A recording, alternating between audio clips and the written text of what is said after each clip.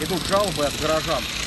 Объект у нас был как благотворительный в 2016 году. Я так понимаю, гарантийные сроки закончились и какие виды работ идут? Что вся поврежденная плитка была зафиксована. Это порядка 800 квадратных метров. Вот.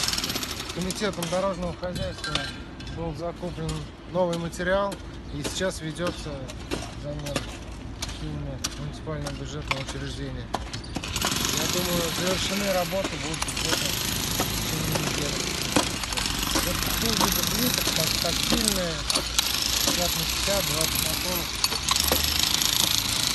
Просмотрите за качеством, и чтобы у вас э, плитка была в наличии. Не допускайте, чтобы длительное время расколотая плитка, это недопустимо.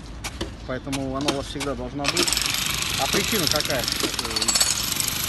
Основная причина это большегрузная техника, несанкционированный заезд. К сожалению, здесь э, находится несколько крупных сетевых объектов, магазинов, в магнит. Когда фуры заезжают, естественно, плитка не рассчитана на такую нагрузку. Неоднократно обращались в органы Также фиксируется Давайте еще раз э, сделаем обращение. Вы проинвентаризируйте, все ли знаки стоят на улице Волжская, предупреждающие о том, что проезд э, больших грузов э, запрещен. Это на самом деле проблемы сетевых магазинов, чтобы они перегружали и логистику устраивали подвоз малой техники.